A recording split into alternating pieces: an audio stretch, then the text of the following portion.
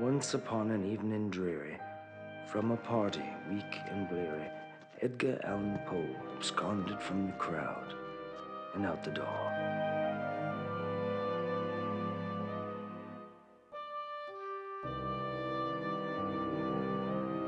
First, you take my child. My wife! My child. Only to deliver her into death's embrace. You carried on with another man. Very idea.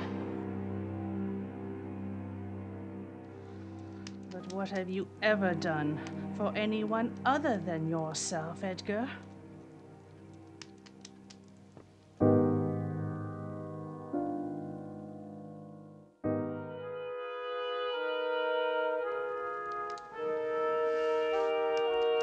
See yourself out the same way you saw fit to enter uninvited and alone.